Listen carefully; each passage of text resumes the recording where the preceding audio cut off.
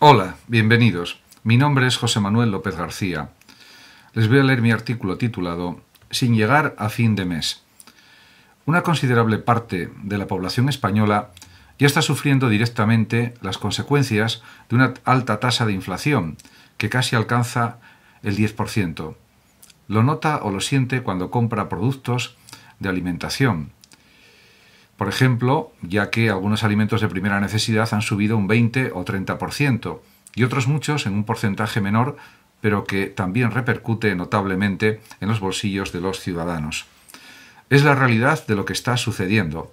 De poco sirven las previsiones económicas triunfalistas de cara a los próximos meses. Pueden convertirse en simples suposiciones que no se cumplen. Ya se están escuchando en los informativos de las principales cadenas de televisión españolas intervenciones de ciudadanos que al ser preguntados por su capacidad de consumo reconocen que no pueden permitirse comer la cantidad que quieren de distintos alimentos básicos para una buena alimentación que aporte todos los nutrientes necesarios. Es lamentable y triste que esto ya esté sucediendo. La inflación ya es una plaga por la subida de los combustibles, la guerra de Ucrania y la pandemia del coronavirus. Es la tormenta perfecta que destruye la estabilidad de la vida de muchas familias.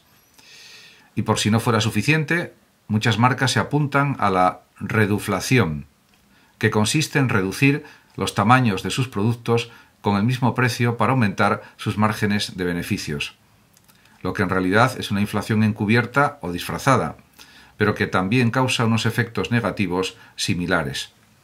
Además, el IPC que se aplica a las pensiones para subirlas algo anualmente es insuficiente. El 1 de enero de 2022 se han subido las pensiones de jubilación un 2,5%, pero no se aplica el IPC real, que es el del mes de diciembre de cada año y que fue del 6,5%, como dice el Pacto de Toledo va a producirse, según dicen los expertos, una subida de cuotas en préstamos e hipotecas, porque la alta inflación supera con creces la subida de rentas o ingresos de una gran parte de la ciudadanía española. Posibles soluciones a este grave problema de la inflación es que se bajen los impuestos al consumo. También sería positivo que se incrementara la competencia para que los precios se mantuvieran o no subieran tanto en poco tiempo es fundamental mejorar las cadenas de producción y distribución para abaratar costes, lo que redundaría en precios más asequibles para los consumidores. En Estados Unidos se están planteando acoger y legalizar más inmigrantes para disponer de más trabajadores que relancen su economía y la hagan crecer a un mayor ritmo, aunque deberían pagar buenos sueldos y no pagar menos que a los mismos norteamericanos por el mismo puesto de trabajo. En España, la inflación afecta también al ocio y al tiempo libre, de una manera más dura de lo que se piensa. Mucha gente ya no puede ir al cine todas las semanas, por ejemplo, o salir a cenar todos los fines de semana. Son solo algunos ejemplos. Porque los sueldos no dan para tanto gasto y existen cosas que no pueden hacer de la manera que hacían hace años. Una parte de las familias salen mucho menos de casa para gastar menos y llegar a fin de mes. A esto hay que añadir la espada de Damocles de las hipotecas y los préstamos, con lo que las cosas se complican hasta límites increíbles.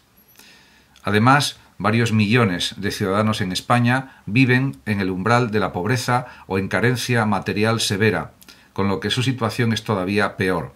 Y existen datos verdaderos que corroboran esto. Si la guerra de Ucrania dura varios años, algo que es posible, por desgracia, la situación se puede agravar muy considerablemente. También existe el riesgo de que empiece la Tercera Guerra Mundial, lo que tendría unas consecuencias catastróficas en todos los sentidos. La economía se desplomaría de una forma tremenda. No se sabe si pueden llegar nuevas pandemias en los próximos años. Si pensamos en lo que dicen los expertos, no es imposible.